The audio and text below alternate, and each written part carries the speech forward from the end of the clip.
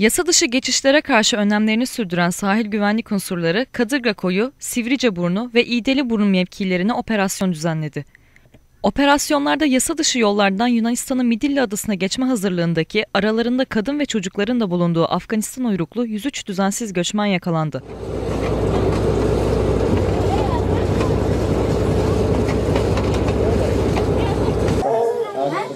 Ayvacık İlçe Jandarma Komutanlığı'nın aynı bölgeye düzenlediği operasyonda aynı uyruktan 20 düzensiz göçmen daha yakalandı. Küçükkuyu'daki sahil güvenlik karakoluna getirilen göçmenler işlemlerinin ardından Ayvacık Yabancılar Geri Gönderme Merkezi'ne teslim edildi.